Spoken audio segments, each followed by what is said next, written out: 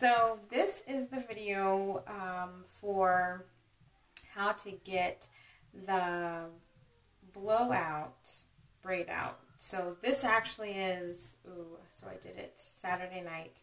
It's now Monday night. So this is at the end of the day. It's kind of big, um, as you can see, which is good. Big is good. In the morning it starts a little bit um, more compacted and then throughout the day it gets bigger, which is good.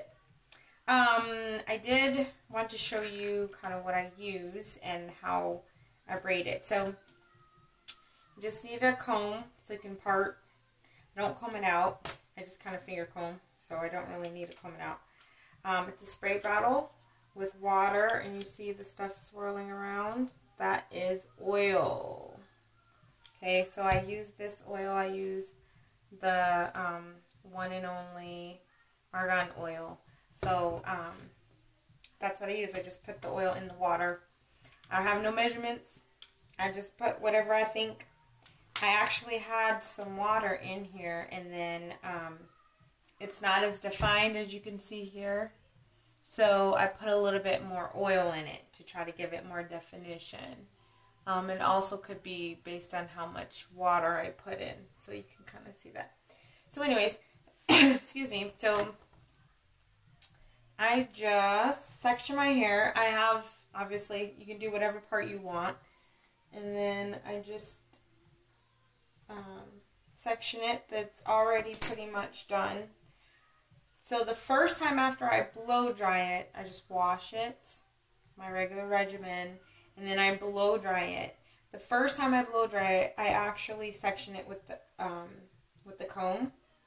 But since I've already done that, I don't do it again. I just kind of use my fingers to get it. So, and then I corn roll each section down in the direction that I want it, obviously. So it's just like a braid out. It's just that my hair is not naturally curly and it's not wet. It's um, just blow dried.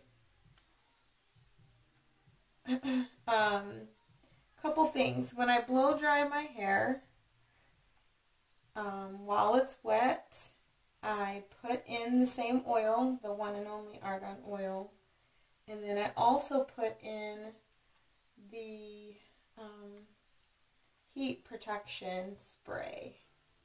And I use Silk Elements um, heat protection spray. It's the same thing that I use when I flat iron it. So it's pretty much the same process that I use when I flat iron my hair, except for I don't end up flat ironing it. I just um, basically uh, end up braiding it down. So something I forgot is I usually have a clip just so I can clip the hair back. So here's a good example. I'm just going to use my finger.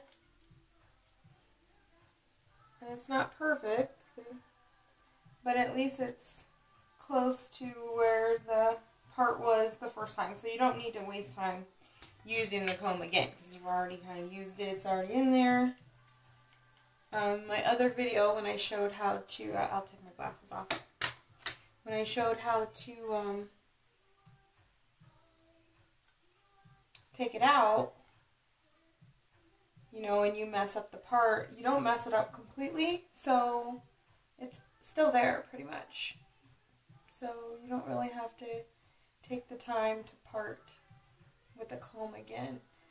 So my ends are straight. If you can notice, this part section's not that bad, but what I do because my hair has lost some of its curl pattern, um, especially at the ends, I take my bang and I just braid it into the one next to it.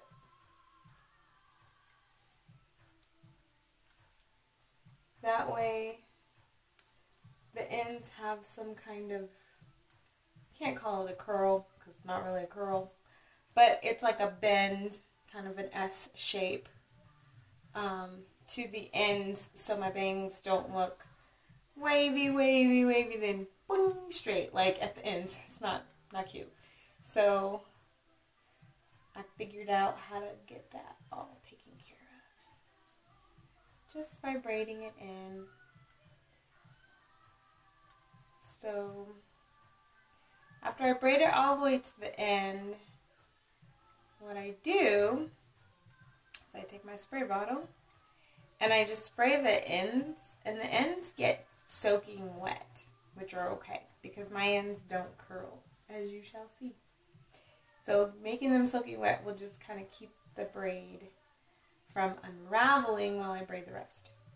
So I just, I shake it because I want the oil to come through into the water and over the sink, I just spray it right into it and then kind of twist, twist, twist. And so as you can see, it's like pretty much straight because I have no curl pattern left, which is okay because we worked it out. Okay, so you can kind of see here how the ends are straight. So in the morning, which I didn't show in my other video when I took it out, um, in the morning, if my ends are too straight, I'll just re-wet the, just the ends and then braid it again and let, let it dry. And then before I have to go somewhere or be somewhere, I just take it out and it gets more crinkly. This morning I didn't do that. That's my ends are straight. Okay. So basically,